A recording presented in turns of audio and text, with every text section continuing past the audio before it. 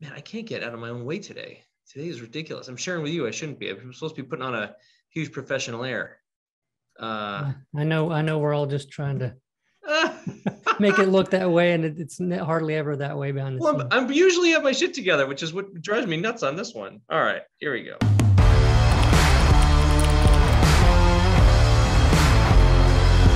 Hey, everybody, welcome to the Shut Up and Do It Real Estate Podcast. I am your host, Nick Aalerud, creator of the REI Accelerated Coaching Platform and a principal with AA Real Estate Group. We buy, fix, and flip wholesale and rentals all across the United States. Uh, and uh, we have a brokerage and a property management company. And we have this podcast to ha- try to bring you as much value as we possibly can by bringing on top quality guests and speakers, all who believe in a shut up and do it manner. So I'm so happy today to have our guest on today. This is a cool one. Wait till you guys hear this one. So this gentleman, we have Danny Johnson on from San Antonio, Texas. Uh, we won't hold that against him that he is from the great state of Texas. um, Danny's a veteran house flipper. He's done over a thousand deals. He achieved financial freedom, and then he went on to create a CRM called Forefront, which we're going to talk about today. And uh, he's also the host of the Flipping Junkie podcast as well as a new podcast, which we'll talk about a little bit later called Braver. We'll get into that. But uh, hey, Danny, thanks for being on the show today. Yeah, thanks, Nick. Yeah, no problem. Glad to be here. super, here. Super cool. As always, let's hear a little bit about how you even got into real estate. I want you to go back to before real estate. Why real estate and why did you get into it? Okay, so why real estate? I got into real estate because I graduated college, computer science degree, was doing software development for a defense defense contractor in San Antonio and thank you for not holding that against me. Texas is the best, but um, I usually have my my my Patriots glass I'd bring up at this point and oh, try yeah. to sip from it, but Tom Brady left, so never mind. Okay.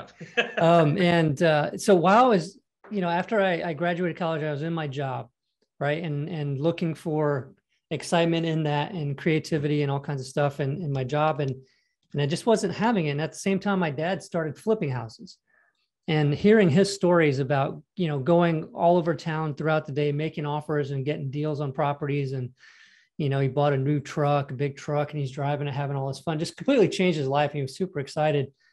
Well that transferred to me. I had that same passion for all of a sudden like I had that desire that burning desire to do that as well. And so i decided to give it a go. Now talking about it after having been in 2003 makes it seem like I decided and then boom, started doing a bunch of deals. Didn't happen that way at all. Um, I took nine months, I think it was, to find the first deal, and I, I, went through all the the doubts. You know, he can do it, but I can't. Uh, it's not the same in San Antonio proper. He was doing in small towns around San Antonio, and uh, so struggle with that. But I got that first deal. The second one came much sooner, and then kept going from there. I couldn't quit my job though it was like I was having fun as a hobby with the real estate, making good money doing that, and actually losing money by not doing it full time. But that it was like the safety net of the job, and then this was secondary. So I felt like I didn't have any risk. Those golden right? handcuffs. Yeah. Them, so I was just I had to get fired from that job after three years to be able to go full time.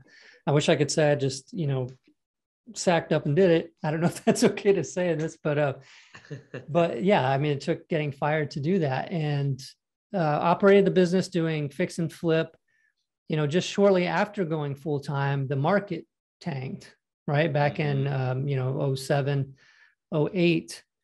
And at that time, my father was a mentor, but also his mentor became my mentor and they were telling me there's no shame in going and get a job again. And i'm like are you kidding me? I can't go back and get i'll figure this out right? I'll do something but i'm not doing that right? I'll buy much cheaper and just try to move them quickly and, and i'll just deal with it. Luckily texas wasn't hit as hard. Mm. but at the time we didn't know how hard we were going to get hit. Nobody did right? So this this idea was safe in some places and not others. I mean you just nobody knew where the bottom was in the market but um, we transitioned to doing owner financing of properties and then turning around and selling the note the same day for, for a discount. So mm-hmm. we were able to charge a little bit more because it was owner financing and banks were like super tight at that point, right? Nobody, like they were hardly lending at all. And so owner financing selling the notes worked really well for several years until the market turned around. Let's, can um, I stop you there to go over some of yeah. that? So on the owner financing side, when you were getting, um, First of all, no, I'm going to go backwards. Did you or your dad, even before you started, did you see your dad ever go through a bad deal? No. Okay. All right. So that gave a home run complex to Danny. And then Danny goes off, but I'm just kidding. I know you you work for it, right? So and then you started before you got an owner financing. Did you ever come across a bad deal? No, I came across challenges, tons of challenges. And that was the way, you know, some people will ask, well, I mean, or I, I assume people assume that it's like, well, your, your dad showed you how to do everything. Well, no, he didn't. He didn't even tell me what to read or learn. It was basically, I'm not going to walk you through, you're going to find like your own way of doing this. And when you have, you come across something you need help with, call me. But otherwise, figure it out, right? Like just, and I wanted to, I didn't want to be going and saying, what next? right i was so interested in it that it just kind of went that way so that was the relationship was basically you know just whenever i needed you know help with some kind of issue but had definitely had some some issues some properties that came up with super interesting situations. There was one of the very early ones where this house had been burned. Not horribly but i think there was a small hole in the roof and smoke damage throughout the whole thing. And the people were living down the street. They had bought another house with the insurance money instead of fixing that one up. Mm. Well, so they stopped making payments on that house and they were way behind like a year and a half or something like that. And so we were like, well, let's do a short sale. So we did everything we could. We did a short sale. They the balance was like 60 something thousand. Now, granted, this was, you know, almost 20 years ago, but 60 something thousand. We got it. The bank said, yeah, we'll sell it to you for, for, you know, discount it and short it for, uh, to 25,000, you know, as a short sale. And when we told the sellers that that they finally agreed and they would sell for that, they they said all of a sudden, how come they'll sell it to you for that much, but they won't let us pay it off for that much? There, there it is. All right. Yep. Yeah. Well, you kind of took the insurance money and went and bought another house instead of fixing up the asset that they had. So they're not real happy with you. and I'm not even sure how all like what the legalities of all that stuff even are, but um, so so they were saying we're not going to closing and i'm like man what the heck and what are we going to do well we told the bank hey they, they said they're not going to closing they're not real happy about it and so the bank said well why don't you guys just buy the note Ooh. and if, they if they don't pay just foreclose I was like, well, because I guess the bank didn't want to foreclose. They didn't want to deal with all that stuff. And I don't remember which what the which bank it was. So we decided, okay, well, let's go ahead and buy that note. So we bought the note for that much. Do you remember if and, that was a local or a national bank? Do you remember? I don't. Yeah, I don't even one. remember. Okay. It may All have right. been a local one. Cool. Um, and so we bought the note, and before anything happened, I got a call from an attorney, and they they said, "Hey, I've been talking to the seller over here. Understand that you bought the note, and uh, you know I'd like to buy it." And it's a good thing that that happened because when we bought the note, the bank ended up telling us, "Hey, we can't find it." so we have an affidavit that you know the, the the note exists. We just can't find it because it was they acquired another bank or something and that bank had it. So there's the whole mess. And that's why they hadn't foreclosed in a year and a half or whatever the situation was. So we ended up with a real dicey situation. It's like we could try to foreclose and then something happens with you don't even have the original note. You know we didn't know how that was going to go down. So that this attorney coming into the picture and saying you know I'll, I'll you know short sale the note that you guys own and pay it off and pay more, you know, ended up working out. So we just did that. He paid it off and, uh, and then we made 25,000, I think it was without having to touch the property. But, but learning through, like going through, jumping through all those hoops and learning about all of those things in one deal was pretty incredible. Totally. Yeah. You got it all. You had the short sale, you had the distressed seller, you had the angry seller that decided not to close and then you had you, a note sale, which not many people get to, right? Because that's all about learning who the right contacts are and what the right banks are and how to approach them, right? And having the credibility to show that you can take them down. With any any, I know that today's not necessarily all about note sales, but is there are there any tips you can give to people looking to do note sales? Uh, it's it's been a long time since I've done a note sale. I, I keep every all the notes now instead of selling them, but it's it's shop around. It really is shop around. Find people uh, there's always somebody that's going to be willing to you know take buy it for less of a discount right? Because the discount is how much off of the the value it is or whatever. So you know just just shopping around to find uh, somebody to uh, to give you more. I mean mm-hmm. I, mean that's the only thing i can really say about that. Gotcha. No brilliant. All right so back to where we were. You would owner finance that deal uh, and you sold the note for more than it was. Keep us going through your journey here. Yeah. Got. So let me see. We it was my ex-wife and I. We we did everything in the business. We wore all the hats. Right. So we were doing a good amount of deals. Uh, once went full time and then brought her in, and uh, we were doing a good amount of deals per year. But it was like we hit this point where we had success in the business doing this, right? But we wanted more success. And the only thing we knew to do was just do more work, right? Do more of what we were doing. And I, and I want to talk quite a bit about this because it's a real interesting thing that I've really been thinking a lot about recently. In that I feel like we could have grown much quicker and uh, you know, like what kept us held back in that? Why why were we trying to do everything ourselves for so long? What was what was going on at that point? And you know, what I can figure is that basically going into this business sort of like as a hobby. And like I said too, when I had that job, I couldn't leave because that was sort of my hobby. It was sort of like I don't want to make that my work. And it's interesting because it became my work. And that's the first time I think ever that I've said that. But anyway, it became like my work. And um interesting, isn't it? Good to get a new yeah. perspective. Yeah. Yeah, yeah. So it's became like my work. And you know but but i i didn't want it to be i wanted it to be like the fun thing always and having employees or having help bringing somebody in to help us out was like this whole responsibility thing. You know i'm going to take on some people all of a sudden the business has to be more professional. We've got to like make sure we can cover you know these employees and all this kind of stuff. And i'll have to manage employees. I'll have to run a business like a business. And that, i think that scared the heck out of me. And really it was like this the this whole idea at the time too was you know i was sold on real estate investing providing freedom right? Financial freedom time freedom all that kind of stuff. So what's going to happen when i bring some employees on and i want to go on vacation for two months? Mm-hmm. right? I'm not going to be able to do that or so i thought right?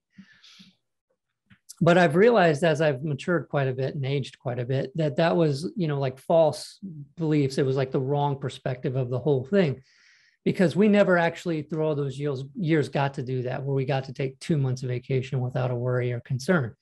Because guess what? Like I'm the one doing the marketing, taking the calls. we try to even go on a weekend and to get a call Friday evening for a home run deal. Oh, that stresses me out. Who the heck's going to go look at it and make an offer competitor's going to snatch it up. You like all those fears, all that kind of stuff. It just really stunk.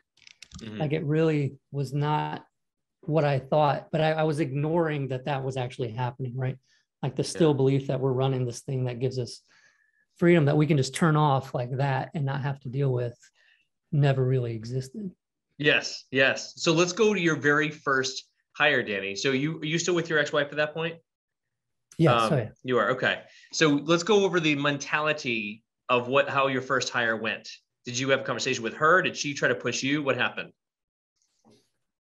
Yeah, actually, that was with. Um, actually, I, I met Justin Williams, who's out in California, from seven figure flipping, all that kind of stuff. I met him, and he he kind of showed me that it was completely possible. I actually flew out to see him after talking with him, then like the next day or two days after, to hang out with him and just you know see that that was like that could really happen that you could have somebody come in and do better than you in your business and and really make true freedom for yourself and so it still took a little while for me to actually go and hire somebody though and, and we ended up hiring my brother-in-law actually was the the first one to come in and start doing acquisitions with me mm. and i learned a whole lot from that interaction because it was basically all i did was I was like, all right, shadow me for for like a week, and then you're on your own. you know, it was I was just like, oh man, I don't know. I've got a thing about managing people, but um, so that didn't. I mean, that worked okay. It didn't work out so hot. He did pretty well for for a while. Um, we we did learn from that, and as we we brought in more people, realized, hey, you know, we've got to set up processes. We've got to make it, you know, where people are following what we want them to do instead of having them assume or, or assuming that they know what we do after telling them all of this stuff that we flood them with. And so we started creating processes using Google Drive and uh, and hired people and and man that just created true freedom i mean that really did that created that was so nice to finally i i, I really fought for a long time to, to give up the whole acquisitions like going to seller appointments mm-hmm. thinking like, you know, I had this whole thing of we I grew up poor, you know, I grew up struggling. My my dad was always starting new businesses and failing. We, you know, I changed elementary schools every single year when I was in elementary school. I think I had to go to a new one every year. We were getting evicted. And uh, and so I like wow. I felt like I had this thing where this connection with a lot of the motivated sellers. Like I've been here in a place of some of them, you know, their situations and that I could relate and all that kind of stuff. Not that I ever talked to them about that, but you know, it just was like the whole genuine kind of uh, personality coming in there. But that, I mean, that was just another thing keeping me in my comfort zone. It's like I didn't want to give up this this thing that I felt like I had to do. And so having someone else do that, it was just so glorious because I got so sick of going to those appointments. and uh, you know, I think I remember moments where I, I showed up because I, I, was like, I want to go running. I, I know there's an appointment right after this, but I want to go running. So I'm going to go running and then I'm going to go to the appointment. Well, I, I, showed up in what I ran in. So in my shorts and like tank top and like flip flops or something or running shoes. It's like sort of sweaty. And at that moment, I was like, I am, this is horrible. Mm, like yeah. Trying to yeah. live the lifestyle and, and, but not run the business like a true business is, is creating failure. really was. Totally. Totally. And, and you know what though, Danny, you and I have that in common where we have been in those situations and we can relate to the motivated sellers. And I was in the same boat as you, as, you know, as far as when I, I've been in this business uh, for about 16 years, so three years less than you. And I only actually learned what scaling meant about five years ago. Hmm. you know, yeah. I, it took me that long because I'm like, I'm the one who can actually realize what these sellers are feeling and thinking. And I have the emotional intelligence and I have that shared you know, empathy that I went through the same stuff they did. So therefore, I am the only one who can go through seller appointments, right? And and also, my team makes fun of me now. My seller appointment, I would always get the contract, but they're always like two and a half, three hours long. you know, I was that guy, and I, I'm still that guy if I go out there. So I'm not even the right one to to, to try to train with. But I 100% agree with you. And let me ask you this: When you hired, it was your brother or brother-in-law? You said brother-in-law, yeah, brother-in-law. So when your brother-in-law started with you, um, was it difficult to see your close rate go down a little bit? Oh yeah, you were training, right? Yeah, there were concerns. I mean, and it was like one of those things. Well, we'll just you know let let it improve, and then we made some more hires and and you know transition people and you know it, it actually eventually ended up after i think it was maybe the the next hire after that was one that things started really getting a lot better uh, with our acquisitions, and uh, you know he was doing I think better than I ever did. The mm, next one. Wow. How did you support or give them training? The new the new folks. The new ones. We ended up. I think we ended up doing the the John Martinez training, sales yes. training. I think that made a huge difference. Yes, and, we do that too. He was a former guest on our podcast too. Absolutely. Yeah, he's awesome, and and just and I don't think that you have to use things exactly as it's given, but I think it gives you some pointers and tips to to use along with whatever your real personality, as long as you can be genuine with it all, right? And not just using tactics for tactics sake. Right. Um, but uh, yeah, yeah, that's what we did. It made it, it really did make a huge difference. I did uh, Flipping Houses Exposed, which was a book, but that originally was blog post. And that was 34 weeks of my business. I documented every single motivated seller lead. This is while we were still doing everything ourselves. Mm-hmm. 495 leads in, in 34 weeks, motivated seller leads saying, Hey, make me an offer. I documented every single one of those. When I look back, I think I only closed, I did 11 or 13 deals out of those. Okay. That's like one out of every that's, five leads. Yeah. Yeah. Horrible. Really, it, I mean, it's, it's embarrassing even a little bit. And so looking back at it, the mindset was we need more deals let's do more marketing. Let's find another marketing channel. Let's pump some money into that. Let's do that. All right, it's still profitable. We're still making money. But you end up in this trap where you're spending all this time generating all these leads and doing this marketing and handling all those calls, going to those appointments, you know, trying to follow up, all that kind of stuff. When if you just stopped and looked at what's happening when those leads are coming in and fixing those parts of your business because you know we ended up when after we started making the hires and we got really systematized in the business did some of the trainings we went from that one out of every 45 during that time period to about one out of every five or one out of every seven leads became a deal.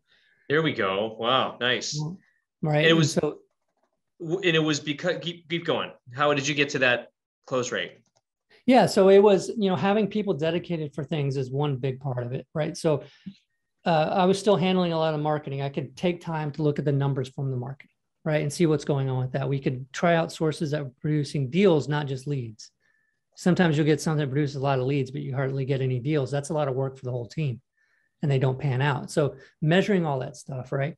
And then having somebody dedicated to take calls always, right? Answering, live answering that phone no matter what. That's their job. They're always available to do it. If I'm doing marketing, I'm running around checking on rehabs, I'm going to appointments, I can't take those calls most of the day. So that's that's a huge problem there. If I'm second to talk to that person, they talk to one of my competitors, you know, the person that talks to them first does have an advantage. I found, yes. and so having somebody dedicated to that and boost boost the conversion rate. then having somebody dedicated to acquisitions, right? There were times where I was frustrated. I was saying, our acquisitions guy is going on like ten appointments a week. Like, what's he doing the rest of the time? but that's really actually quite a bit for somebody, right? To really yeah. take the time to go and not be rushed, right? You, you can't yeah. be rushed. Three hour go, seller appointments right here. What's that? Three hour seller appointments right yeah, here, but 100% right. close rate. that's right. I mean, but but that's what it's all for, right? All that other stuff that we're doing leads up to that. So that's where we you should spend time, right? I mean, that's everything else you did led up to that. So if you can't convert there, everything else was a waste. I mean, to some extent, uh, like follow up helps, but um, and so he, you know, the the acquisition person has time to go to the appointment, get there a little bit early, sit up front, uh, do exercises if they want, like visualizing, getting the appointment, uh, getting the contract, all that kind of stuff. It helps going in, resetting from whatever happened before that. Previous appointment didn't pan out. Yep. Person laughed at you, yelled at you, whatever. Time to reset. Get the energy out. Yep. Yeah. Right. And then and that changed things quite a bit. And then having the ability to do follow-up and and you know, lead intake can spend a lot of time calling old leads um, while they're waiting for calls to come in and stuff like that. So I mean, all those things add up. And a lot of it really improves when when you're taking a look at the numbers in your business. And this gets back into this hobby versus true business thing. Because a true business can give you freedom can give you that lifestyle and it doesn't mean you're losing like your freedom in doing that and i had that weird thing going on where i was thinking that. But like measuring those kpis and like week over week gives you that confidence that everything is just running smooth.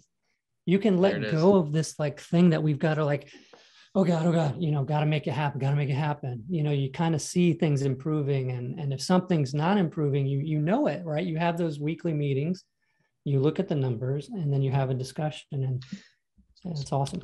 So is this, uh, and this is good to get in for some of our viewers. We've had discussions on KPIs, and is this using like the EOS or traction system? Right. Is that yeah. what you use? Yeah. Yeah. L10 meetings. So, yep. so what um, KPIs would you say are the best indicators for your, and you can even define KPIs for some of these folks. What are the best ones you use as indicators to say if your business was going well or not? Yeah, so there's a, I mean, Forefront, we built them in so we don't have to calculate them. They just like real time, week over week. You can see them all the time. There's mm-hmm. 27 of them in there. But in general, this is using your Forefront CRM too. Right. So this is, right. yeah, got it. We'll get there. Yeah, because I yeah. like the way, like, if you have you used 90 before? It's called 90. 90 yeah, 90.io. It's a software version of of level 10 meetings. So you can run your meetings through the software oh, and put your KPIs in there, and you have everything from EOS inside of it. It's it's by the same people, mm-hmm. and it's super cool. But you have to put the KPI numbers in. You have to pull those up and then put them in there. So I was like, why are we doing this when we have all this data in the CRM? It can just calculate and show it to us. So anyway, we did that. But um, the KPIs that that are most important are really just like the number of leads, right? The number of qualified leads, not the take me off your list, all that kind of stuff mm-hmm. um, the number of, of appointments, the number of canceled appointments. That's a good one. Yep. Yeah. And then you want to know who canceled, right? If you get a high number, who's canceling us or them, who's rescheduling, who's doing what, that tells you a lot. Yes. The number of uh, offers. Offers on the appointments. Yep. Yep. Number of contracts and then, you know, deals and, and that kind of thing. and really a lot of those those main ones at the top though give you a lot of information i'll give an example about one thing that was interesting before that that happened to us.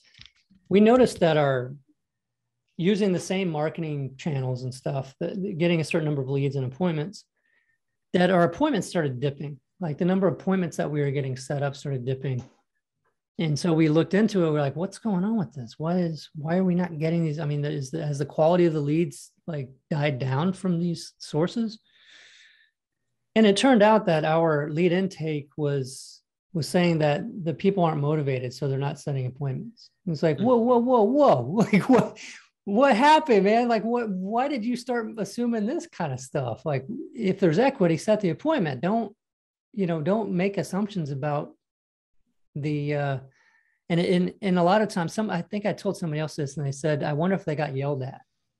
And there's a that's a big thing you know acquisitions people if there's some kind of change in behavior in them or if there's a change in behavior in leading take someone that's talking with with sellers mm-hmm. you know getting yelled at a couple times can really start changing your opinion on what you're doing. Absolutely. I love that. We we had a similar issue where our and it's funny because the lead intake we call them lead manager right and acquisitions rep they're different personality profiles right? At least that's what we have. We have our lead intake is typically a higher i on the disc scale right which is more inter interact like social i'm i feel for you let's discuss let's go through things and talkative versus the acquisitions folks have to have a higher d because they have to get there they still have to have that emotional intelligence to work through the appointment but then they have to ultimately say, let's go over to this table and walk through things and see if this makes sense. Um, our I, our lead intake, was doing exactly that. Like they almost appreciated getting to follow up with them every week or two weeks and not set the appointment just to check in and chat versus getting an appointment set right with the appointment right. setters. So we had the similar type of issue. Did you ever come across uh, you know, the the uh, personality profiles, or did you do you did you work we did, those? but but Mike's wife handled a lot of that because so I you know I know about the D for the salespeople, but the rest of it I really don't. Yeah, I don't remember a lot of it. Gotcha, gotcha. And and I want to move into from your KPI. I'm going to add one more KPI too that you didn't mention. He mentioned all of them. So if you folks are listening here uh, and you're just joining us, this is the Shut Up and Do It Real Estate Podcast. Uh, we're here interviewing Danny Johnson who's done a, uh, over a thousand deals, and he's in, based in San Antonio. And then he moved into uh, creating a CRM called Forefront. And he also runs the Flipping Junkie podcast, as well as a new podcast we're going to be hearing about shortly called Braver. Uh, and he's also chatting. He just mentioned some KPIs, so I'll rewind about a few minutes, and you'll see where he labels lays out the most important KPIs for your business. What I'm going to add to that, Danny, in uh, at the very end, it's uh, it's uh, signed offers to closing.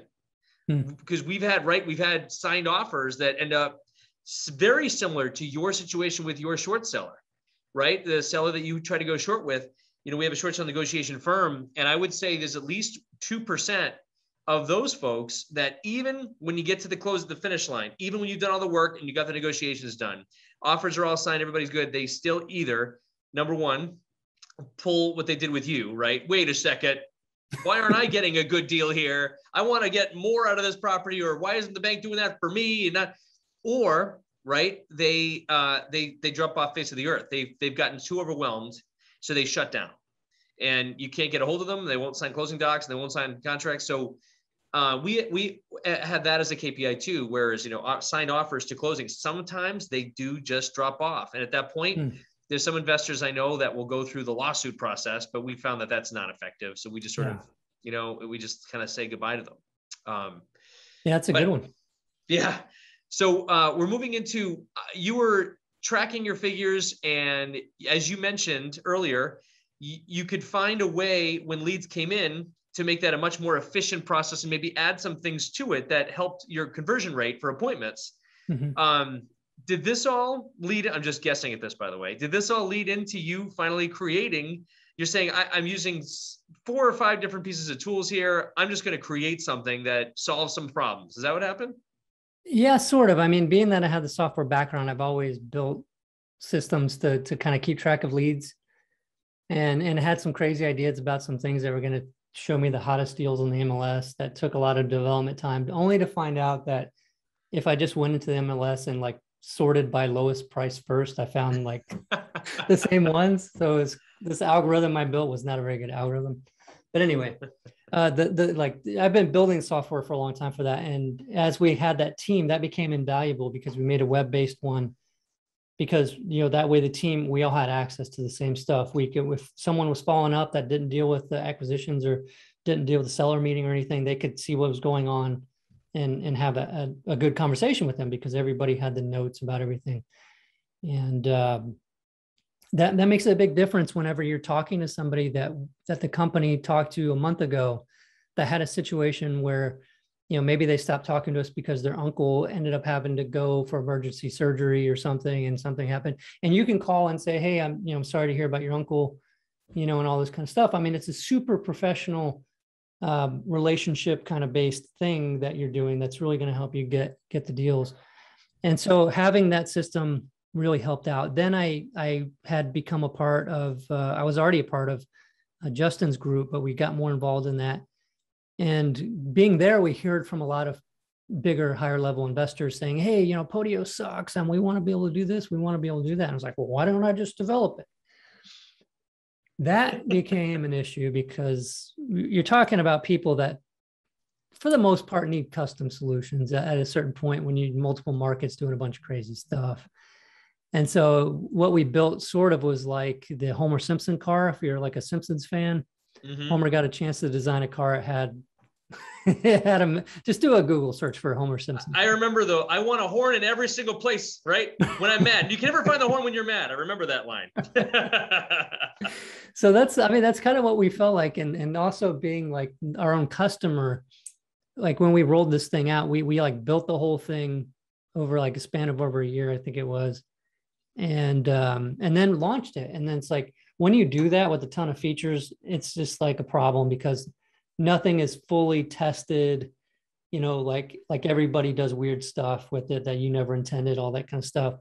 And so we had some bugs and everything. It just became like kind of a nightmare. It was like a big like usability kind of sucked. So we were redesigning interfaces, saying we're gonna have to rebuild all this and at that time was when i started going through uh, you know separation from my wife and, and that divorce was was really painful and so it was like you know my my team my software team the core team came up to me was like hey i think we got to restart on this we need to i know you just spent all this money on this but we we probably should rebuild and uh, so it was a tough thing i mean it was a like probably i think it was over a million dollars to build that other one, I had to just say, okay, you know what? I, I trust you guys. I think you're right. Let's do that. And it's, it's weird how things kind of, and this maybe can get into some of the uh, uh, vulnerability stuff, some of the things that we experience that we don't share too much. But I, I was learning how to surrender, right? And because before everything was just like, I want to have this many deals. I want to be able to do this. I want to do that. And you try to control everything, right? Everything's got to go the way you need it to. Otherwise, you're just like stressed and frustrated and pissed off. And, um, you know, I found that like, wow, I was like really trying to make sure everything, I was just so stressed out because I'm trying to do a million things and have it all go the way I want it.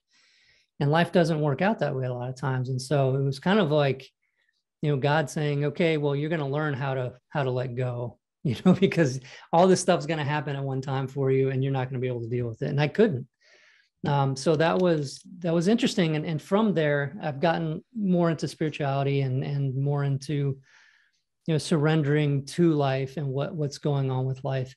Uh, and it actually there's a statement by michael singer. He's a he's a writer published a couple books. Untethered soul and the yeah. surrender experiment. Yeah yes sir. Excellent books. And he talks about like the world is pretty darn amazing, right? The, there, how everything is, and the fact that we're able to breathe, and we got all this water, water falls from the sky, and you know all this kind of stuff happens. is pretty darn amazing, and it's like, and you think that you have a better idea of how things should happen, right? like, like in controlling things, right? Then, then what's naturally going to happen. And right, some things we might feel are bad, some things are good, but he actually in their surrender experiment. Um, have you read that? I have. Yeah. So in the, the surrender experiment, he decided at an early age to surrender, whether he liked it or not, to whatever was coming up in his life. Ended up building that software company that sold for $3 billion. mm-hmm. you know, and, and, uh, and it's interesting to try to live that is not so easy. like to try because it's the question of okay well what am i like what is what is life showing me right now right you can get all hung up in that too like what is the right direction or decision but it was interesting because when i look back at the the the re, the closing of that software and you know the divorce happening at that point when i couldn't function like i could not handle all of it i would sit in my office in my desk for for for days just sitting there like I just couldn't, I was like, I was just stunned. Yeah. And this was months. Right. And so the fact that, you know, the team stepped up and different things happened, you know, that was letting life happen. And that's not to say that I'm going to do that now, or I'm just going to sit here and, oh, it'll be fine.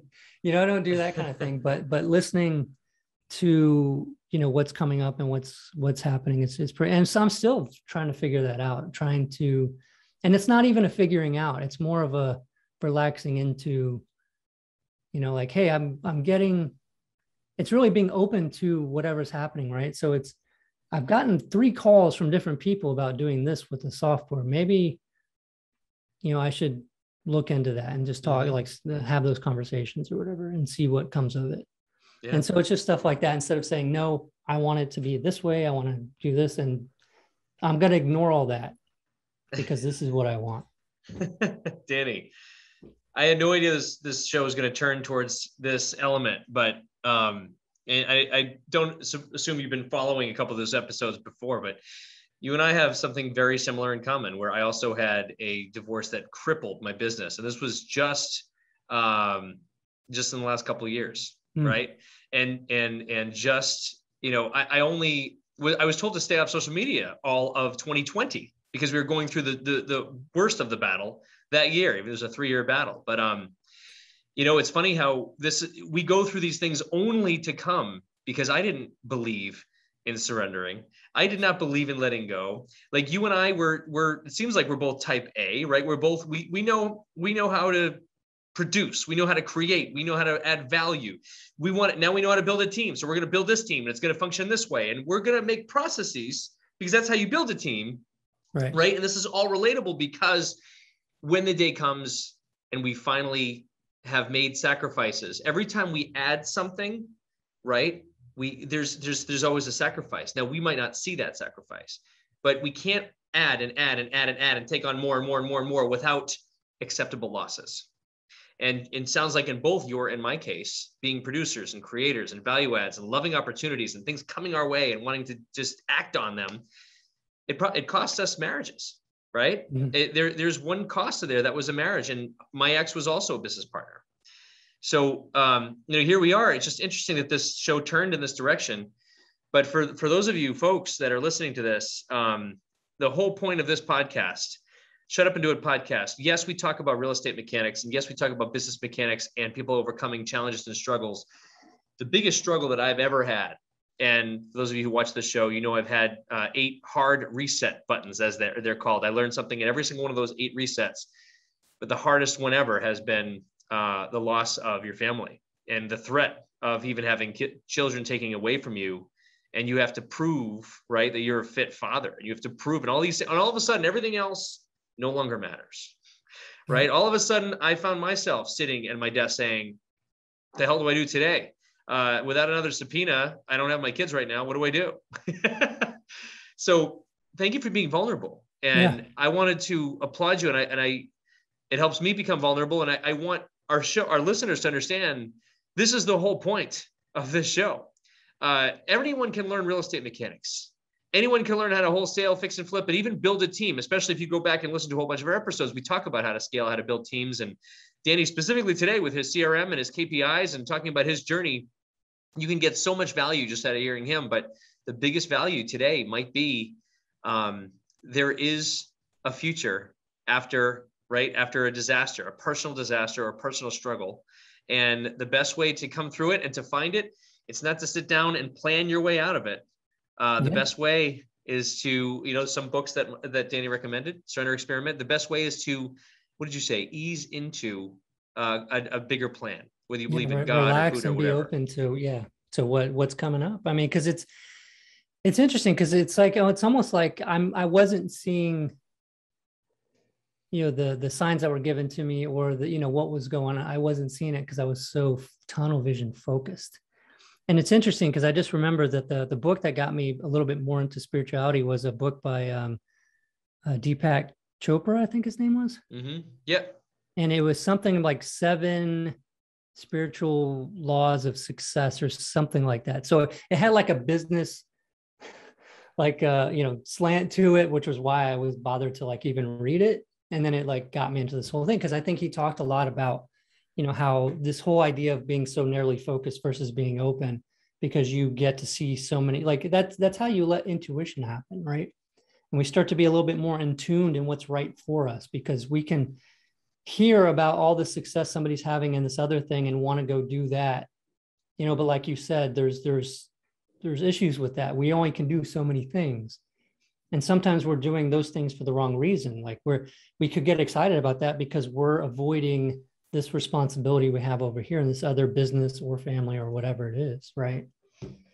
Yeah tough that's stuff it. sometimes. we can do anything but we can't do everything that's right and we don't have to do everything which is the good thing you know that's it's pretty cool that's it yeah we find our niches and find our specialties danny uh didn't know it was going to take this turn, but I'm happy it did. And as I said before, there are no coincidences. So I'm, I'm very happy that the reader, that the listeners who are going to listen to this and watch this, uh, we absolutely, hopefully, will resonate with at least a few of those. Um, and that's our goal, right? Is is to change even one life here. So let's talk about your um, your new podcast um, and and you know what you're excited about. What are you excited about coming up?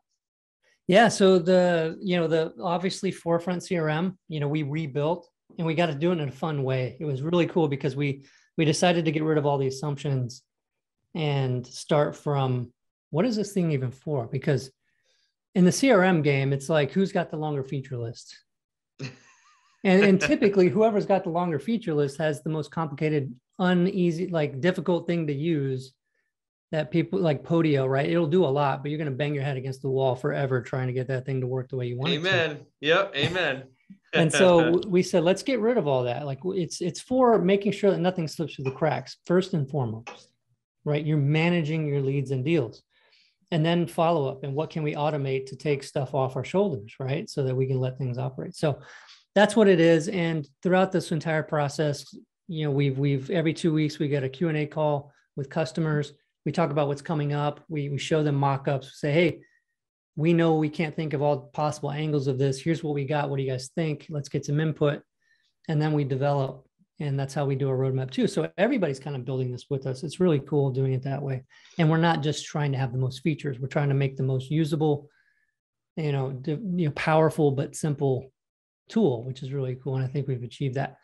Now the Braver podcast, um, that I decided to start because Flipping Junkie is is geared towards a newer investor and I, have done a ton with that. And I think back at episode 16, way back in the beginning, I decided I'm going to make this sort of like an online, like a, a, a, a um, audio training course, right? Mm-hmm. Instead of doing these, this episode's about this, this next episode's about something completely different, which some people like the variety, but I want to do something like that. So I did episode 16 to like 60 something, started with foundation, mindset, motivation, and then worked all the way up to like you know renting properties or something mm-hmm. and it mm-hmm. was like all the things in between like lead in like um you know marketing acquisitions wholesaling all that kind of stuff all the way through all those episodes so that's all there but i wanted to start talking about you know what we've what we spent too long doing doing everything ourselves in the business my ex-wife and i you know with us wearing all the hats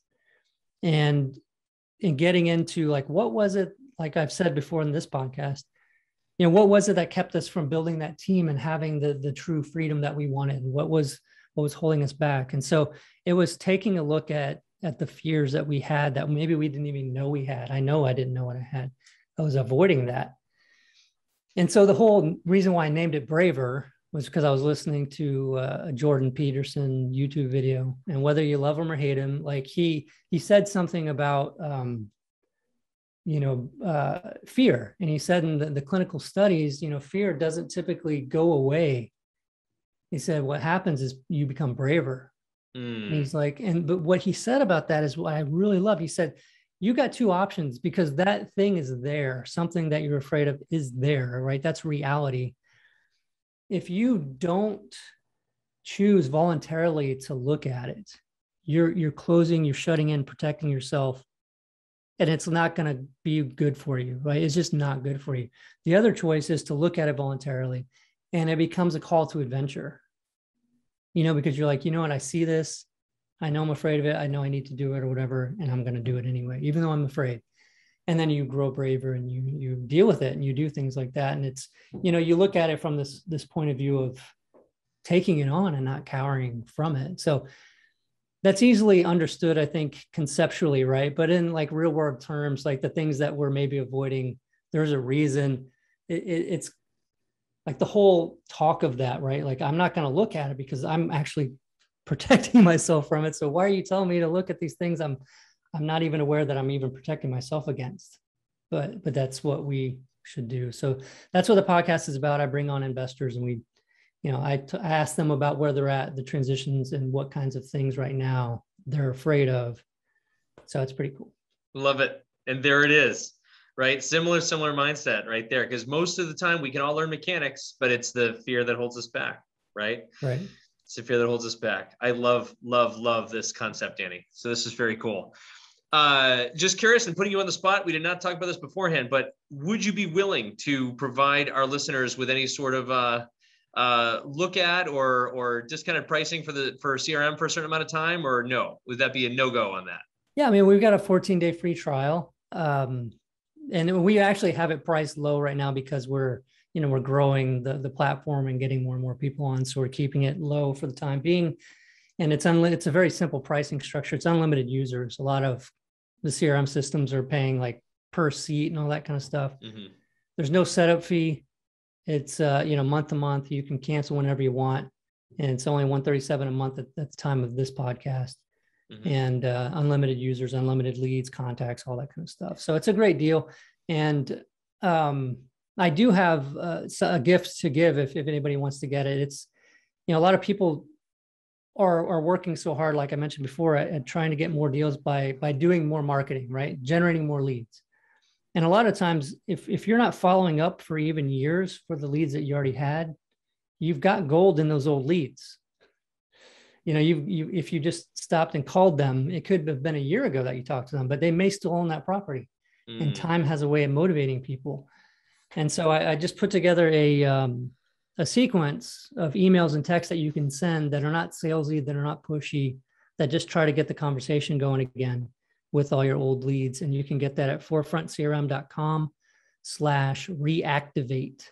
That's forefront, F-O-R-E, F-R-O-N-T, crm.com slash reactivate. And that's because you're reactivating old leads, right? Turning them yeah. back into new yeah, we'll put those in the show notes too. And uh, and knowing us, folks, we're going to try to work with Danny and see if we can't get something a little special for our listeners too. It sounds like that's a great deal, though. I don't know how we're going to beat it, but I'm going to work on it. So we'll find it. We'll find a way. Um, Danny, this was an awesome, awesome session. I didn't anticipate it going this long, but it, it took directions that we wanted it to take. Right? There are no coincidences. So, right. um, are there uh, any final words to anybody you want to share? No, I, I well, I guess there is. Like, the um, whenever you're faced with a, a decision, as hard as it is, sometimes trying to sit there and rack your brain with what the right call is, maybe try taking a day or two of not even thinking about it and see if things happen to show you the right way to go with it. It's completely different than I ever lived, but trying to do that now, it's it's just it makes it so much easier. It's really nice. I love that. Try it. Because type A people though, Danny, we have to make decisions quickly and we have we are on top of things and we know exactly how they're going to work out and we know the process. We don't need anybody explaining to us how the things are going to work out. But for those of you who didn't mm-hmm. just hear what Danny said, right? Let there's a there's a very big power in that surrender, even if it's for that 24 hours. See if you are guided by an intuition that you didn't even know you had. Because three years ago, I did not believe in any of this mm-hmm. so that's what he does, right? The universe will come down and throw something in our in our path, and all of a sudden, things can get manifested, literally manifested, just by our energies. So, cheers mm-hmm. to that, man. Yeah, and I'm grateful for all the the struggles I went through in the last couple years with all of that because I would have never. It took something like that to get me to to see this stuff. Mm-hmm. Yeah. And same here. For that's the very very reason we started this podcast, but it was uh, that's before awesome. I had all my issues. So here we are, still still spreading the message. Hey, awesome. folks, I want to thank you so much for taking the time today to see another episode of the Shut Up and Do It Real Estate podcast, um, where we show, share top quality guests and speakers, all who believe in a shut up and do it manner. And in some cases, we go deep, as you saw today. We're super thankful for Danny Johnson today from San Antonio with Forefront CRM and Flipping Junkie podcast and Braver podcast for being on ours today and sharing his journey and what he experienced. We went through some KPIs we went through some uh, how to help with deal conversion when you get to a certain level, and of course, how to scale the business and try to get away from that fear of scaling your business, which is really what it's all about. Danny, thank you for your time. Also, if you're local to, local to the Boston market, be sure to check out our uh, group that's been around for a few years, but we're finally back in live in person. REIUnleashed.com is our local Boston based uh, networking group. We do that one every third Tuesday of every month. And uh, definitely make sure you hit the like and subscribe buttons below. It really helps us out. So you can get notified when we launch these. We launch them every Thursday at one o'clock. Until next time, thank you so much for listening, and I'll see you on the next one.